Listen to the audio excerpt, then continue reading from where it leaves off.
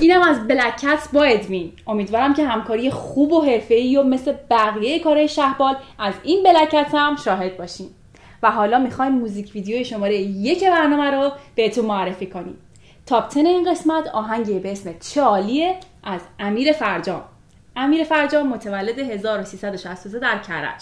کار موسیقی خودش رو از 14 سالگی شروع کرد و در 17 سالگی ایران رو ترک کرد و به سوئد مهاجرت کرد و همونجا فعالیت حرفه خودش رو آغاز کرد.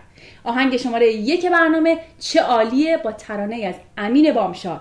موزیک سالار مقدم و تنظیم میلاد هاشمی.